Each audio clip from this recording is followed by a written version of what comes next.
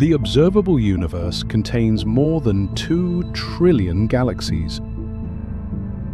Each of those galaxies holds, on average, about 100 to 400 billion stars. And more than 70% of them host planets. That means there could be more than 300 sextillion planets in the observable universe. That's a 3 followed by 23 zero. If even a tiny fraction of those planets had the right conditions for life, then statistically, the universe should be teeming with intelligent civilizations. And yet, we see no signs of them. No signals, no probes, no megastructures, not a single alien whisper in the cosmic dark. Even with conservative numbers, Drake equation suggests there should be around one to two civilizations in our own Milky Way, and there are two trillion other galaxies. If intelligent life should be out there, why isn't it? To begin answering that, we must first understand the ingredients of life itself. The basic elements of the universe are common. Liquid water is one of the most critical ingredients in the search for life. It provides the perfect environment for organic molecules to move, interact, and assemble into more complex structures. Carbon atoms form stable, complex chains. Its ability to create four covalent bonds allows for highly diverse and flexible molecular structures. This chemical versatility makes carbon the ideal backbone for life's complex systems. Life also needs a constant energy supply. On Earth, this mostly comes from sunlight and, in some cases, from chemical reactions underground or underwater. Without energy, cells can't survive or reproduce. A planet must orbit at just the right distance from its star. If a planet is too close to its star, water evaporates. Too far, and it freezes. Only within this narrow range can stable liquid water but life needs more than just ingredients. They all need to be in the right place at the right time. When we evaluate the known requirements for life, we find that most exoplanets fail to meet several of these conditions.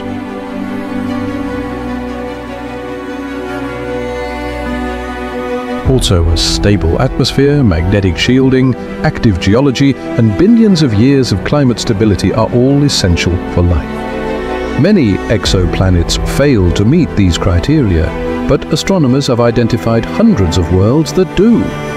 And yet, we've found no trace of life. How do we explain this silence?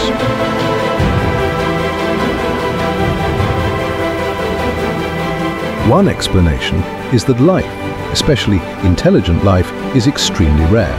Although the basic elements for life are widespread, the transition from chemistry to biology may be extraordinarily unlikely.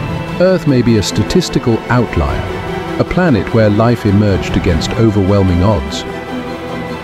Technological civilizations might consistently destroy themselves before achieving interstellar communication.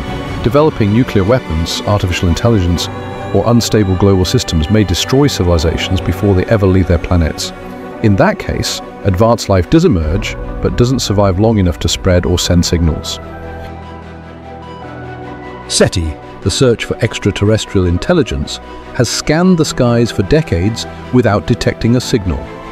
But if all civilizations adopt a listening posture and avoid broadcasting, the universe becomes a quiet place. It's possible we're in a galaxy full of listeners, but no speakers.